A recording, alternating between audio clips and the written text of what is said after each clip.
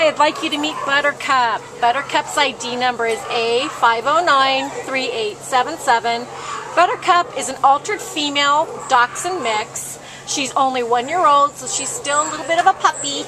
And she came into the Baldwin Park shelter as a stray on July 26th from uh, Whittier. She weighs 14 pounds. And this sweet, cute little girl, she has just been a doll. Uh, Lydia, what else do you want to say about her? Um, she walks fairly well on a leash. She probably needs more training, but she doesn't pull or, you know, goes all wild. She's got a kennel mate, a little tiny chihuahua that they get along.